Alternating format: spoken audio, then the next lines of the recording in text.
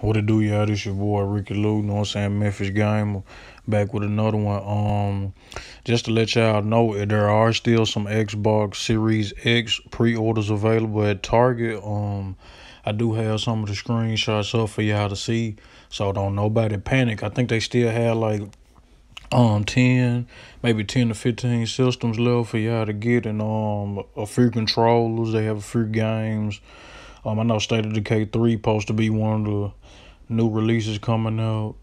The Call of Duty Black Ops Cold War Edition. Um, some it's another game I'm not familiar with. You probably can see it on the screen of y'all trying to figure out what that game is. Start with a J. I've, I'm not familiar with it, so I won't name it. Um, and they have some Turtle Beach headsets available. Um, but if I was y'all, try to go and get them quickly, you know, um, because they're leaving pretty quick. So, um, this is the time for y'all to go and get them now for the people who actually want to get the pre-order and actually get their system on release and launch day.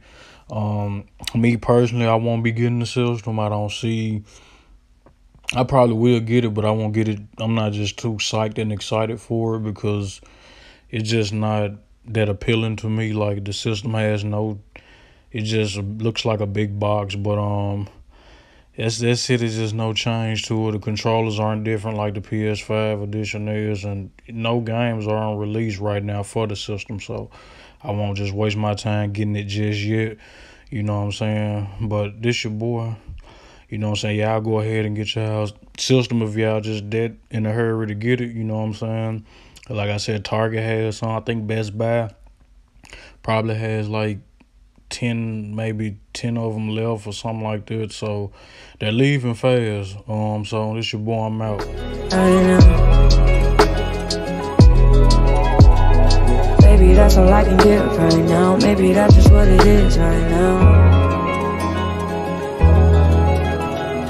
Maybe that's all I can get right now. Maybe that's just what it is. Right now.